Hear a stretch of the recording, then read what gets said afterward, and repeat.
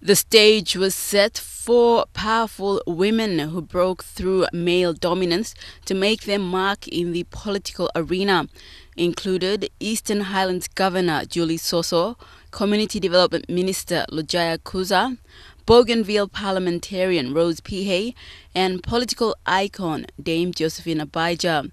Our first lady politician humble in her remarks the Australians who were counting the votes couldn't believe.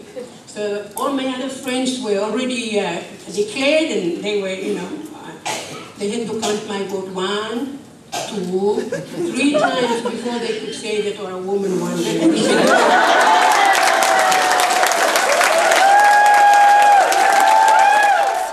the similarity expressed by all four women when deciding to get into politics was the fact that they had the backing of their communities. They said public perception and support played a big role.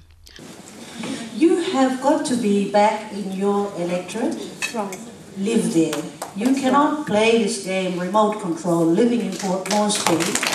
I did not give up. I did not want to let the women of Eastern Highlands down. And also, I didn't want to let the of Papua New down because uh, I know we can get there. I was saving my people throughout Burundi. People who wounded came to hospital, came to the hospital, and I had that person to go out and and provide you know little kinds of service to them like giving them food, giving them clothes, giving them small amounts of money. But it was when the discussion on the 22 reserved seats for women came up that stirred a ripple in the room. Mr. Kouza was blunt with her remarks. You like I mean nothing true sinon inside of this house. Sorry lo you. No can hear time talk talk. You know fit lo sanap karono semina winning election. Listen to the alternative, the three of us. Harim, listen to what the three of us want to provide, how we can help you to come inside. We can work on the legislation for the deputy governor's position. Because the economics of it, will bring him 22 plus women, nothing through, no constituency blow you. Who's that behind talk blow you inside Lohab when it comes to vote for the budget, vote for something? You haven't been on the inside. You ain't seen nothing yet.